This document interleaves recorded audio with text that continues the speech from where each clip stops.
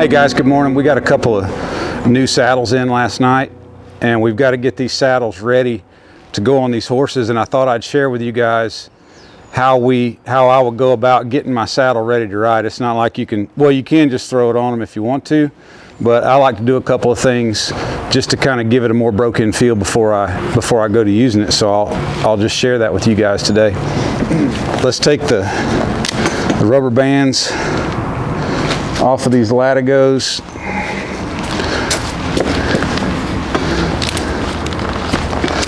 I'll just show you the first thing that I do. This is this is a half breed off billet. Okay, and you can see that it's it's new, it's really stiff, and it's not super usable right now. So what I do for these for these Latigos when they're like this is I'll take them, you've got to break the fibers down in this leather in order to get it nice and soft and supple. Basically is what it boils down to. So the best way to do that is, is to find you something that has a curve to it, like I like to use this D-ring right here, that anything where you can bend it in two different directions. If you just bend it in one direction like this, you're not going to get exactly what you're looking for. It needs to have a crook in it like that so that you can drag it through and really stress that leather and break those fibers down on the inside to get it soft, okay? So what I do is I just kind of start at the beginning and I lean back and I put as much weight on it as I can and I just work this thing back and forth just like that, okay?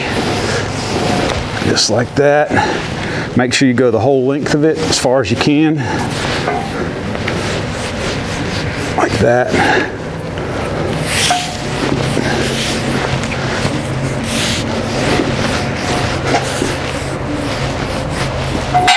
Flip it over and do the other side too.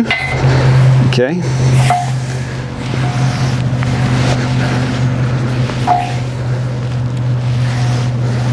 Just like that.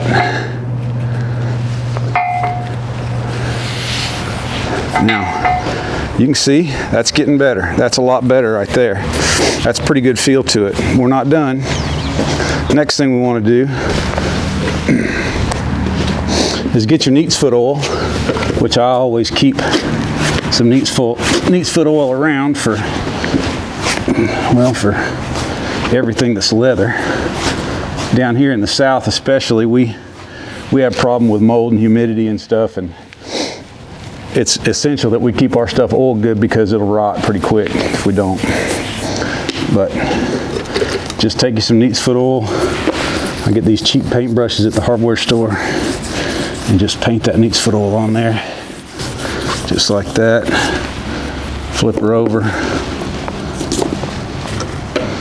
Do the other side.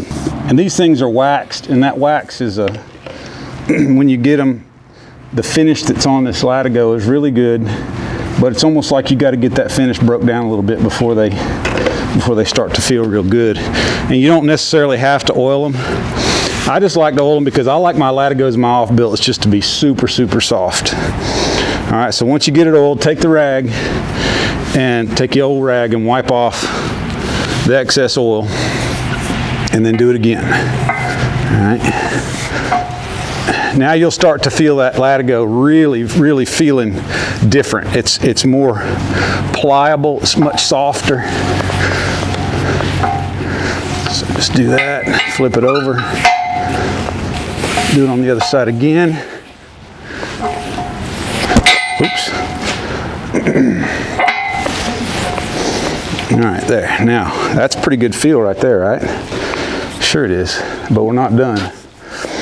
Next thing you want to do is get your cinch. There it is. We got new cinches and new saddle blankets too, so make sure you cut all this stuff off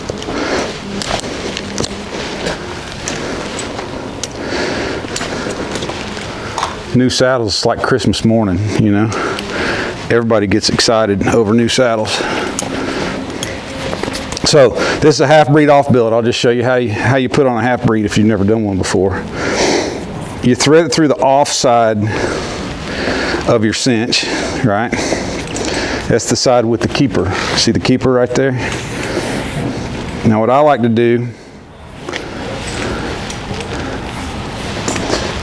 is go ahead and buckle it in a position that you think is about average, okay? So let's just say right there. That's that's probably average for what I'm going to be using. Now, if AJ will zoom in on that, I'll show you what the problem is. You see this big these big bubbles right here. Well, you can see that your stirrup leather is going to rub against that, right? So what I do is I I've, I've established that position right there, okay? So then I'm just going to pinch that and unbuckle it right there. I'm going to take it off and I'm holding that holding that spot right there, okay? I'm to lay it down right here. Take my rag so that I don't damage my latigo with my hammer. Yeah, I said hammer.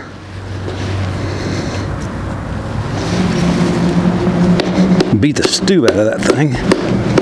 All right. You guys will get a good laugh out of this if I smack my finger with that hammer. I've done it before, but I'm not going to do it just for your entertainment purposes, all right? So hit that thing, and you see how it's flattening it out, right? Getting nice and flat.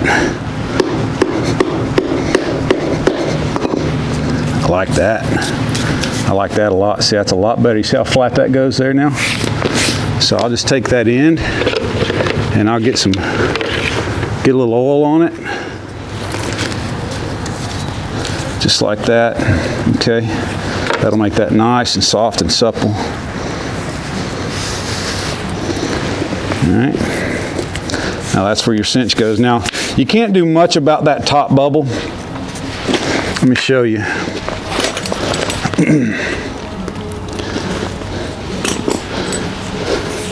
See how that just makes a perfect little pocket for that D-ring to ride in right there?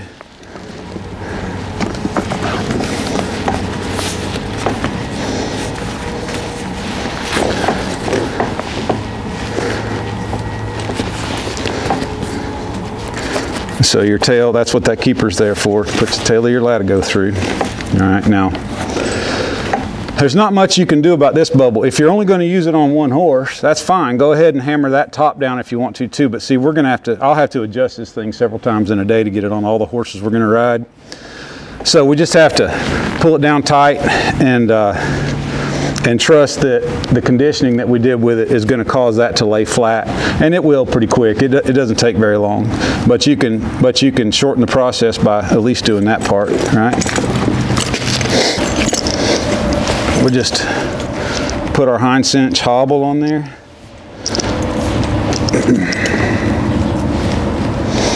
make sure you got a good leather or biothane or stainless chain for a, for a, um, a hobble right here because you don't want that thing failing on you when you need it, right? right.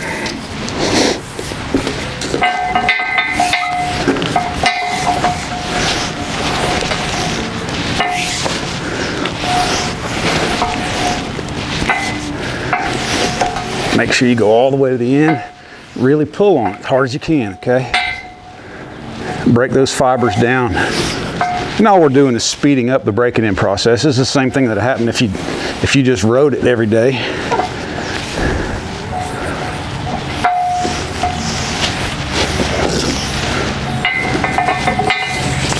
Uh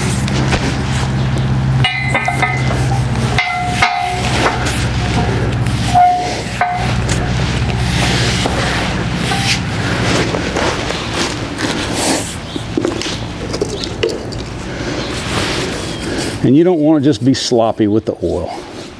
But get it on there good.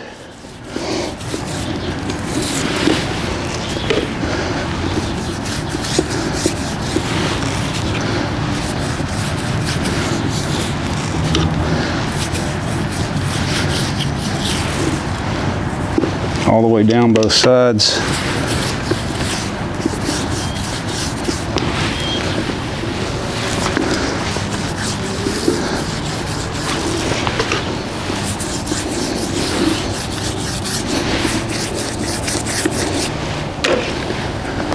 Wipe it off.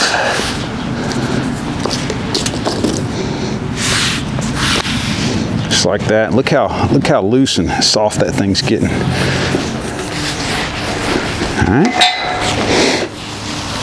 that's pretty doggone good. Now let's go ahead and you see this one's got a bubble in the top of it too, right? Your finger will lay flat too if you whack it with this hammer. Don't do that.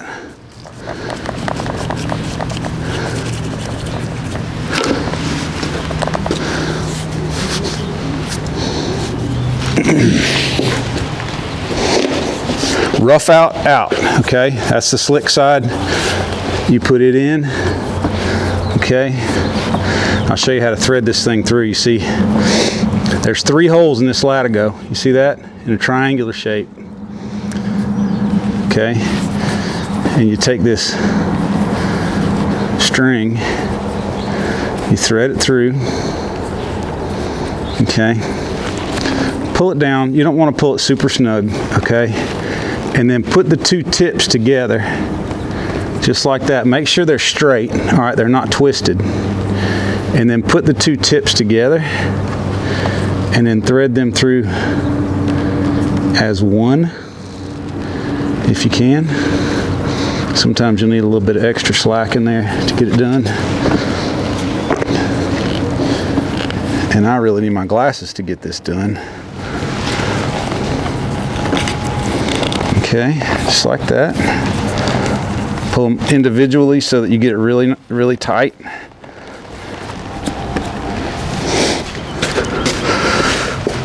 Okay, so I went and got my trusty needle nose pliers, all right? So you can take your pliers and, and stick them in right there and kind of waller that out, okay, and make a nice bubble. Then, and you can do this a couple of different ways, but for this application, I think the thing to do is to thread these through, okay? Grab one of those pliers pull them in there. And there's a little bit of a twist in that one. So just like that. And then pull all that stuff down really, really tight. Like I said, pull them individually. Okay, like that. And then pull them together like that. Give it a couple of whacks to make it lay down flat and that's that. So that saddle's pretty much ready to ride.